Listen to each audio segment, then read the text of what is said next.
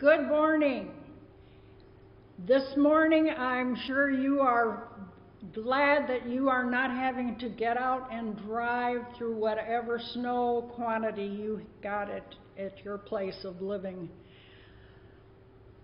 But we have the privilege of an opportunity of not having to cancel the service because we are ready for Sunday morning. One announcement the prayer vigil is February 17th. That's not very far off.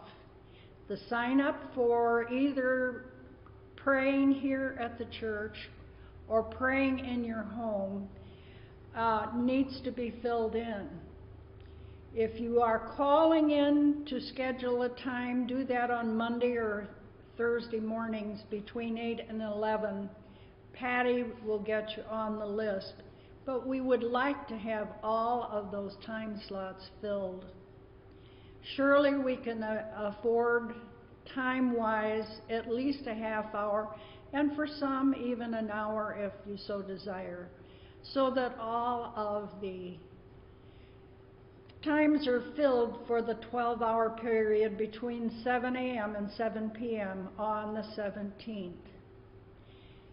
And now, as we are ready to quiet our hearts and minds, let's listen to our prelude. Maggie is our solo, our pianist today.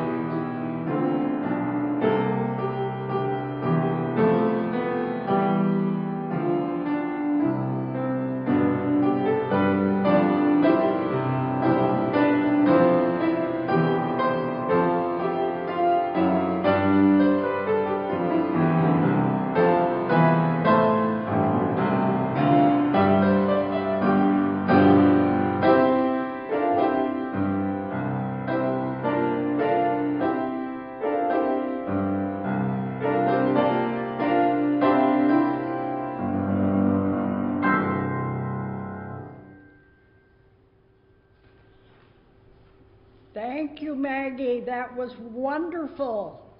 What a way to begin our worship today. Please join in the responsive call to worship. The Lord is my light and my salvation.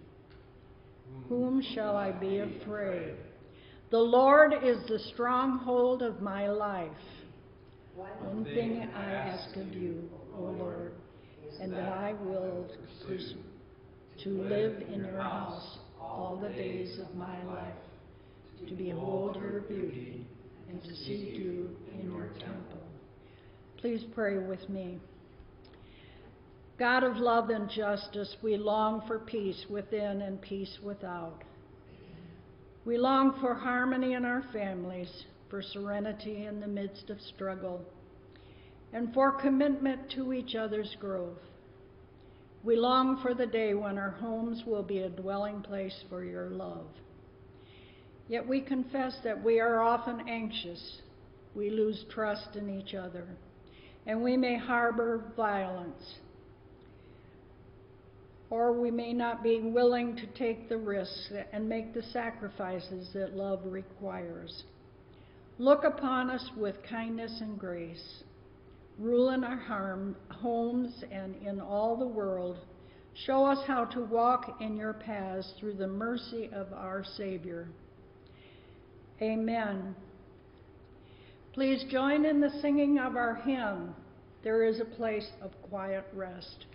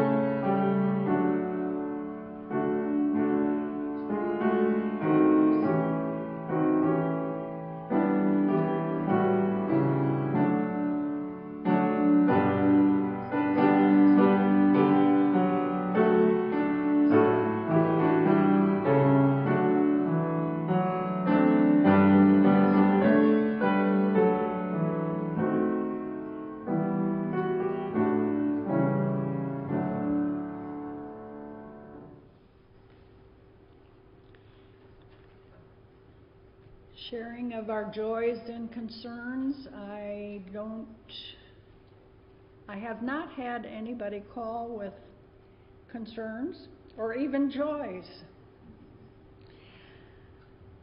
So let's do our, let's sing our prayer hymn. Lord, listen to your children praying.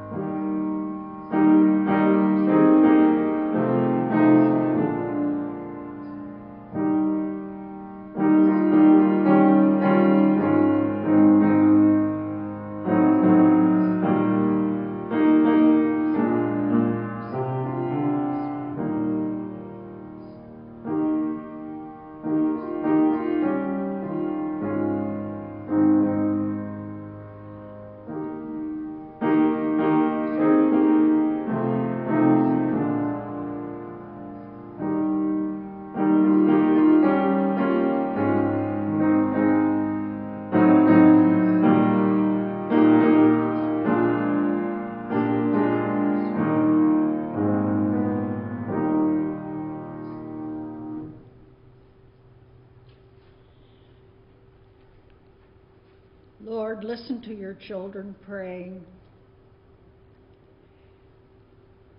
We anticipate storms, but we know that there is great suffering now in California with the torrential rains, the mudslides, all across our country, there are still the threats of violence. God, we pray again and asking, show us the way to peace. God, we are more hopeful with the pandemic.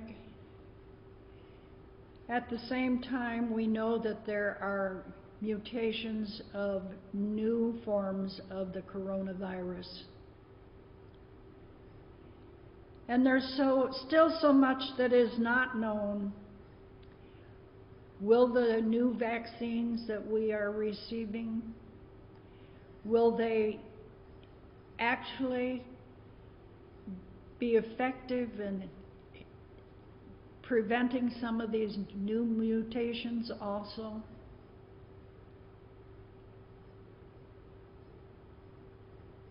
God, at the same time, we pray for our government. Some of us are very hopeful. Some of us are still resentful. But the will of the people of the United States of America has spoken. And we need to put aside the claims of wrong and fraud in such an election. It's time to let it go, for there has been no evidence to prove that that was so. And God, as there are schools where the children long to be back in school, that the schools still are not open. Teachers not wanting to go back into the schools, threatening to strike again.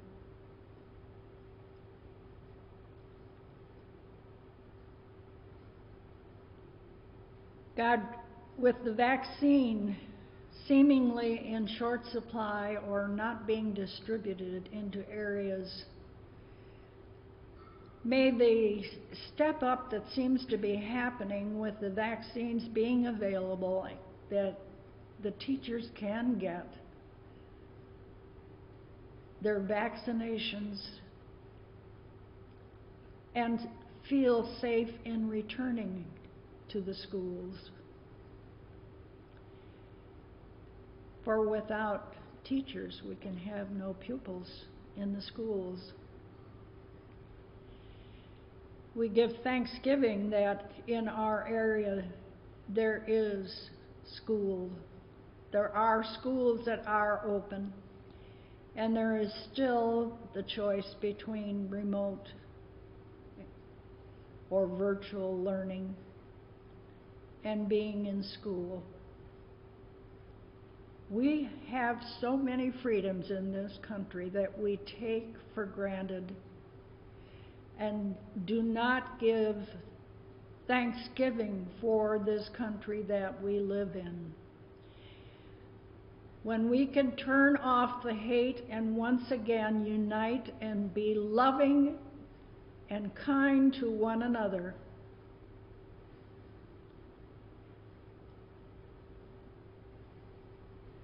This will go a long way in making peace. At the same time, they are still identifying the rioters from January 6th. More of them being found.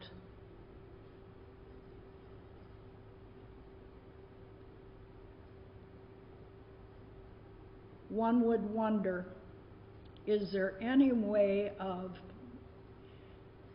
reaching through the violent aspirations of the militia groups, the individuals, even within our Congress, that are a threat.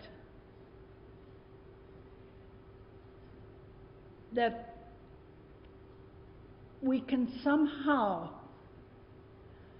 get away from the idea of Nazism, fascism, genocide, all the things that they threaten to do in our culture today.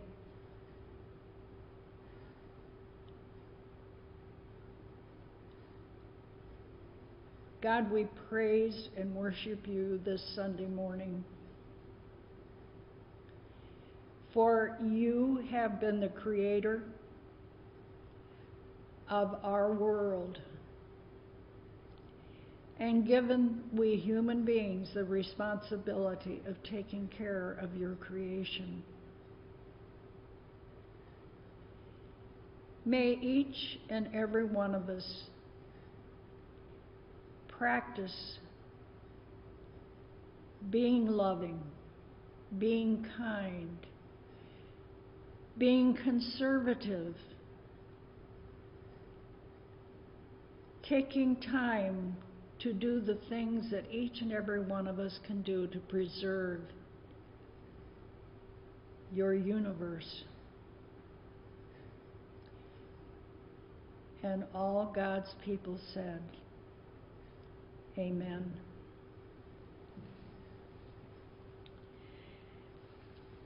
Worshipping our gifts come my scripture comes from 2 Corinthians 9:10.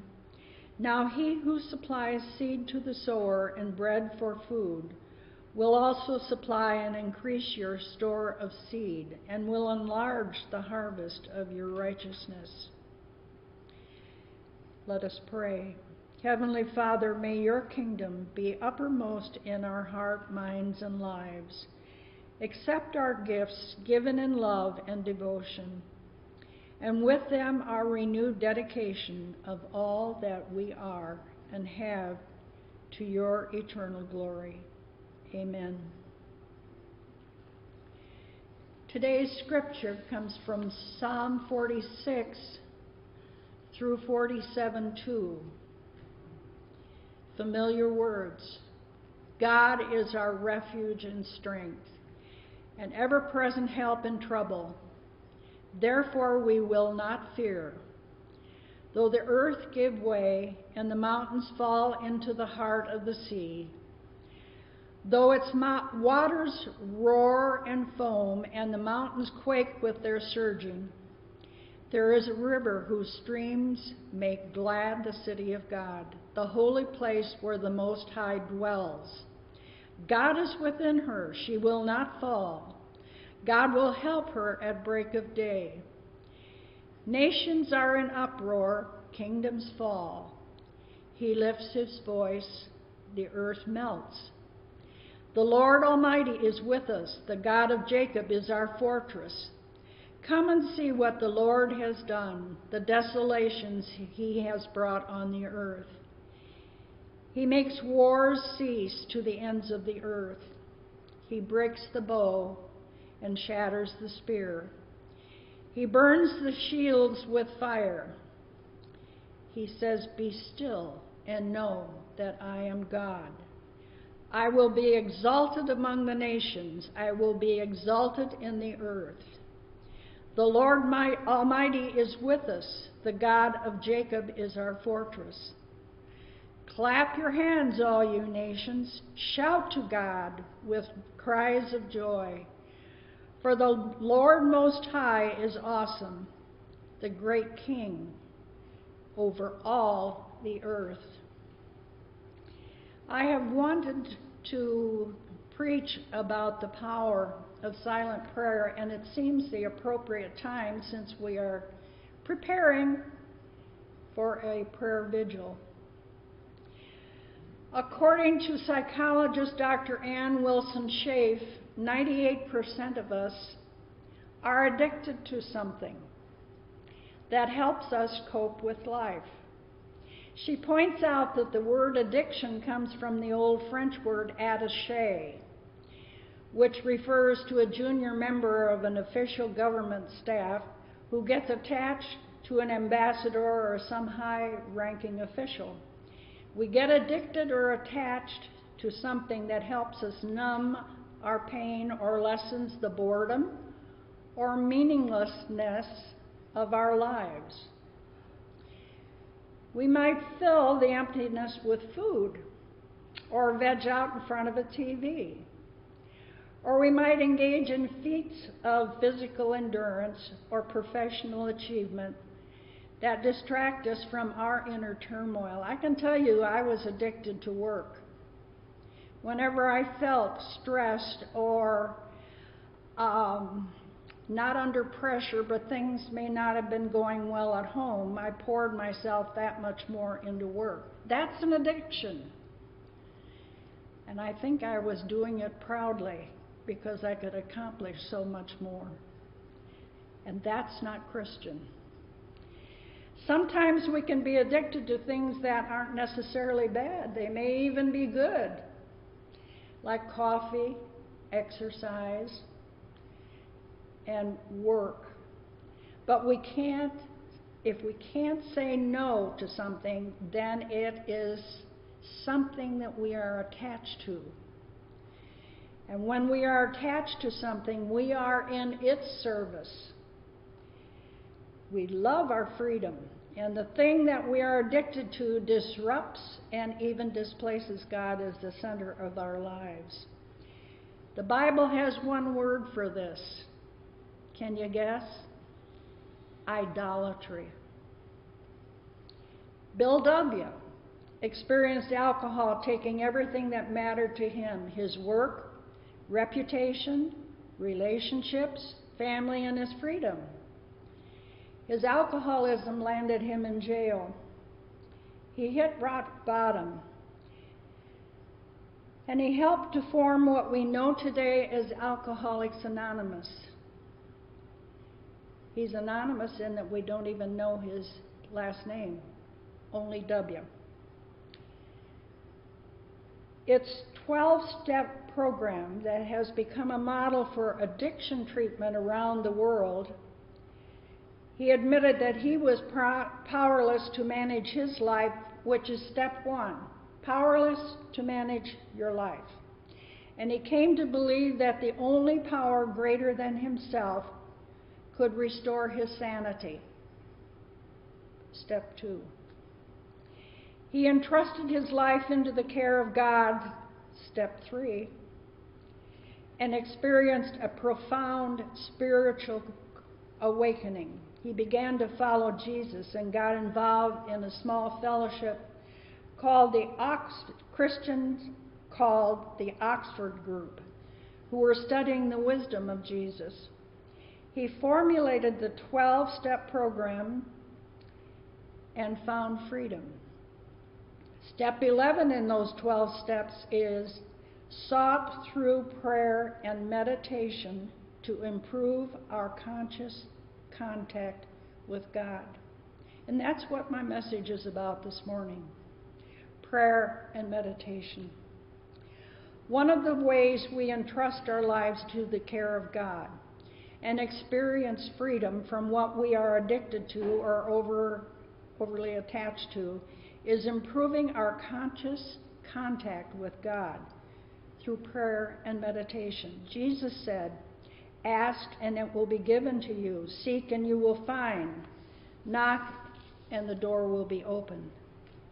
The call to prayer is a process where we seek to cultivate our conscious contact with God through both prayer, speaking to God, and meditation, where the emphasis is on quietly absorbing the presence of God. In the traditional form of prayer, we are actively involved in verbally expressing ourselves to God. But in meditation, in silent prayer, we take a more receptive attitude.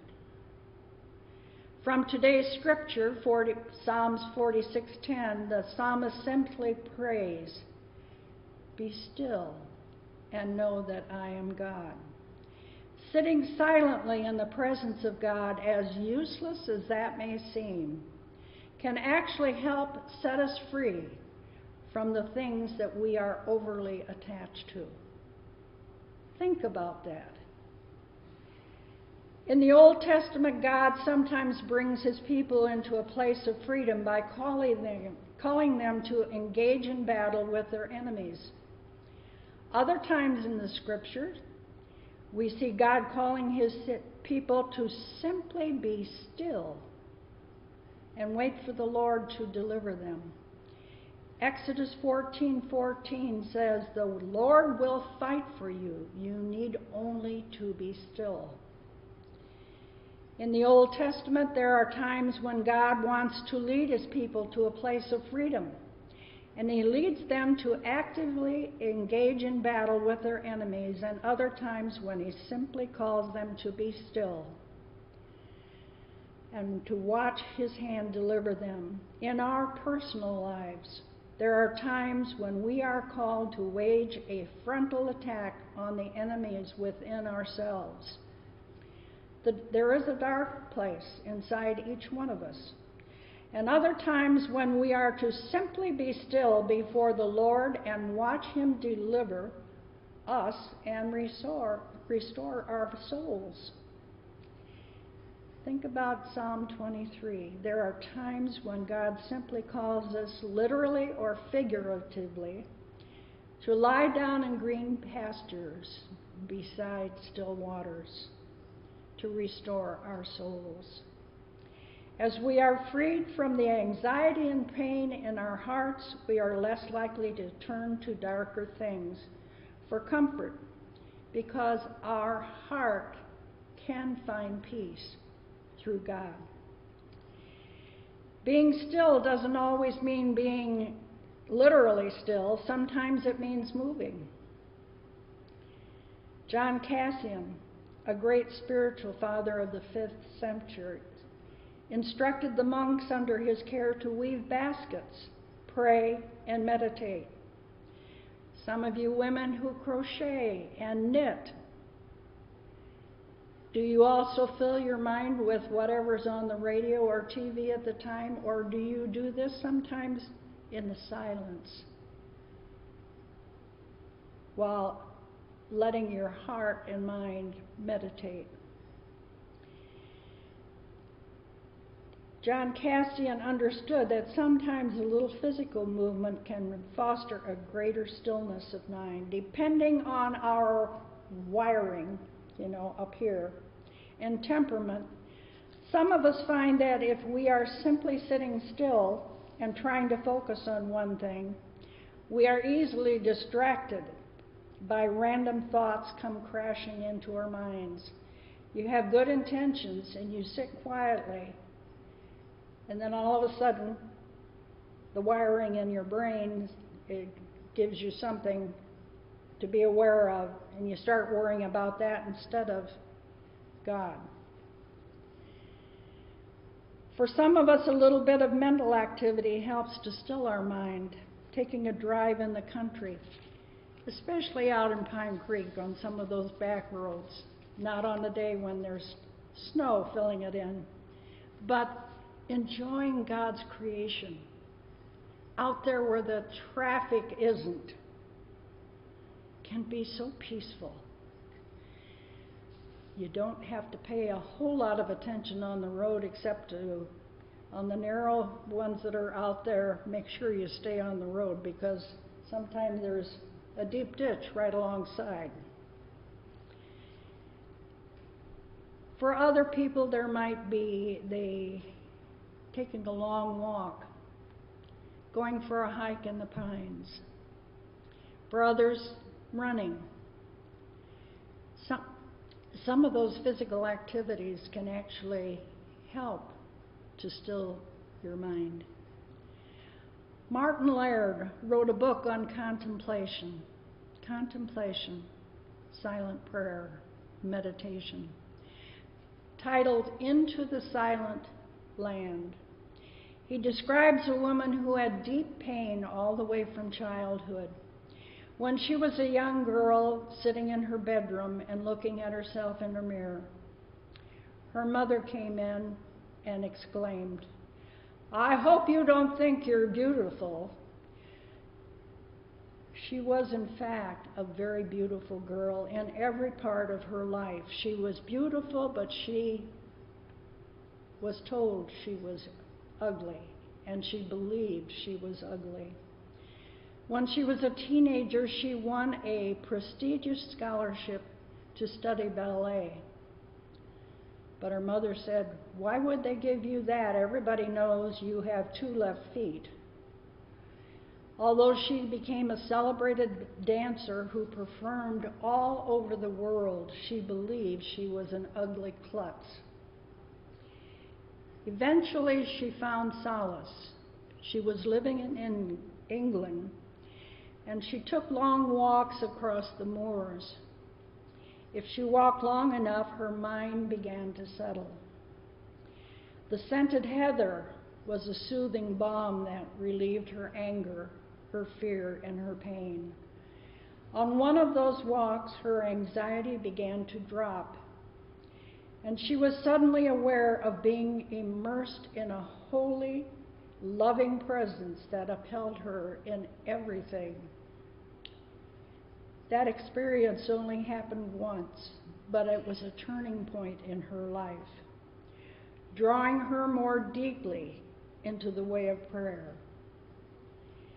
St. Augustine had a phrase, it is solved by walking. For some, walking is a way of being still before the Lord. For others, being still before the Lord means literally being still and sitting in God's presence. Someone has shared a helpful way is to focus on a brief portion of Scripture by taking a deep breath in while saying, Be still. Letting it out and know that I am God. Try it. Be still and know that I am God. It's a good exercise. If you take a deep breath, your doctor's going to like that too because it will fill your lungs. While sitting quietly in God's presence and relax, sometimes the anxiety that surfaces, or deep disappointment, resentment, anger, it's a good time to lift, lift those very things up in prayer. Those of you that aren't aware or haven't done a half hour stint in prayer during prayer vigil, you'd be surprised how fast that half hour goes. If you prayed about everything that came into your mind, it would fill more than the half hour. But it's a time of freedom. You don't have to pray out loud. Meditate. Who is this God that I believe in? How can I become closer to God? The time will come when you will feel enveloped in the holy, loving presence of God if you allow yourself that time and do some practicing with it. When we are meditating, sometimes garbage surfaces in our life. We may feel anxiety or fear, or remember a wound or feel anger. We can offer those things up to God and hand it over to Him. It is not a usual thing to experience anything particularly dramatic, so if you think something dramatic is going to happen, it would be unusual. In ancient times, when a city state would defeat their enemies, the military would burn that city down and build another city on top. Some of us have seen the Copan ruins in Honduras, the Mayan culture. I remember the first time that I was there. There is a, a tour within the tour. There is an, a, a city underground. I'm not into close places, and I surely didn't want to adventure or venture down into to that, but knowing that you are on the top of what is now the Copan ruins and that there is another city underneath is it's mind-boggling. When archaeologists are working on one of these sites, they first clean off the top and get rid of the rocks and weeds and unearth civilization that once thrived there. They send the pottery, mosaics, and tools to a museum. Then they come back and dig up the next city state. The process of digging down level by level through the various civilizations can take many years. And as they make their way all the way down, they can indeed come to the Stone Age. Father Thomas Keating says the Holy Spirit is a divine archaeologist who works in a similar way. The Spirit usually starts where we are now, whatever our age. The first thing the Holy Spirit typically does is to help heal the most destructive aspects of our addictive behaviors and current relationships. The Spirit works through our lives and goes deeper and deeper, working toward our earliest emotional life. This is why children suffer when their childhood has been traumatized, how it affects emotions and their very being all through life.